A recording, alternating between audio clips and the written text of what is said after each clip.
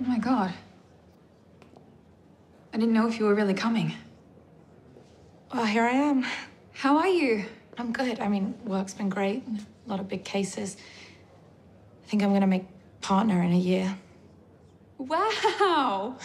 That's amazing. You must be so happy. Yeah. Yeah, I guess so. What about you? Have you been keeping busy? Okay, this is stupid. We're talking about work. I know we said it would be easier if we made a clean break, but I have thought about you every day for the last six months, and I'm not going to pretend that I haven't. We have to say something. I'm scared to say something, Kirby, because nothing's changed. And that's where you're wrong.